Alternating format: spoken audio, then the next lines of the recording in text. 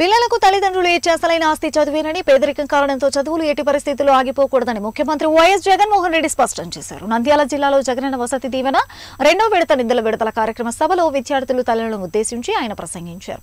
పరిపాలనా సంస్కరణలో భాగంగా ప్రతి పార్లమెంటును ఒక జిల్లాగా చేస్తానని సుపరిపాలనను ప్రజలకు చేరవేస్తారని నంద్యాలలోనే మాట ఇచ్చారు. ఇచ్చిన మాట నిలబెట్టుకుంటూ ఇప్పుడు మళ్ళీ మీ వాడిగా వచ్చానంటూ భావోద్వేగంగా ప్రసంగించారు సీఎం జగన్. పిల్లలకు మనం ఇచ్చే పెద్ద ఆస్తి చదువు. ఆ చదువు కోసం తల్లిదండ్రులకు అండగా ఉంటున్నాం. ఇంట్లో ఎంతమంది ఉన్నా పర్వాలేదు అందరినీ చదివించండి. తోడుగా మన ప్రభుత్వం ఉంది తల్లిదండ్రులకు భరోసా ఇచ్చారు. సీఎం వైఎస్ జగన్ నంద్యాల అభివృద్ధికి ప్రభుత్వ సహకారం ఎల్లప్పుడూ ఉంటుందని ప్రకటించారు. ప్రతి పార్లమెంటును ఒక జిల్లాగా చేస్తానని పరిపాలనను ప్రజలకు మరింత చేరువుగా తీరుస్తానని మొట్టమొదట ఇక్కడే నంద్యాలలోనే మాట ఇవ్వడం జరిగింది. ఈరోజు ఇచ్చిన మాటను నిలబెట్టుకుంటూ ఇక్కడికే మళ్ళీ మీ వాడిగా ఈరోజు మీ ముందుకు వచ్చాను అని చెప్పి సగర్వంగా మీ బిడ్డలా ఈరోజు తెలియజేస్తా ఉన్నాను. ప్రతి అక్కకు ప్రతి చెల్లెమ్మకు ప్రతి అవ్వకు ప్రతి తాతకు ప్రతి సోదరుడికి ప్రతి స్నేహితుడికి మీ బిడ్డ ఈరోజు రెండు చేతులు జోడించి శిరస్సు వంచి పేరు పేరున హృదయపూర్వకంగా కృతజ్ఞత తెలుపుకుంటూ ఈ కార్యక్రమాన్ని ప్రారంభిస్తా ఉన్నాను.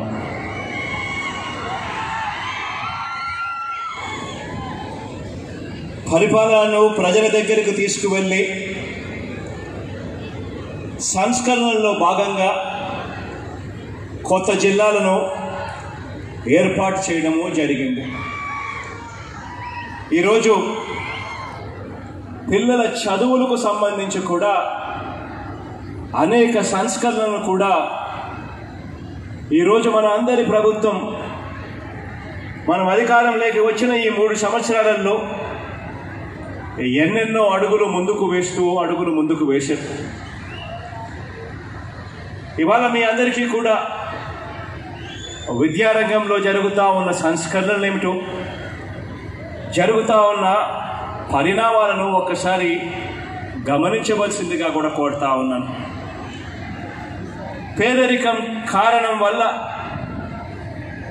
ఏ ఒక్క పాప కానీ ఏ ఒక్క బాబు కానీ